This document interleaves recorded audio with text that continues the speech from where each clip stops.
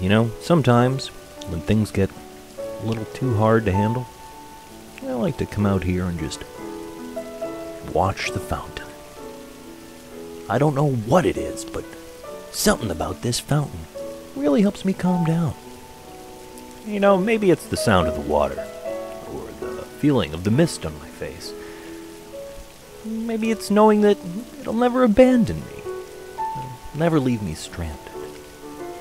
It'll never get tired of me, it'll never stop loving me. Well, it's nice knowing that I can come out here at any time, and that fountain, this fountain, will be right there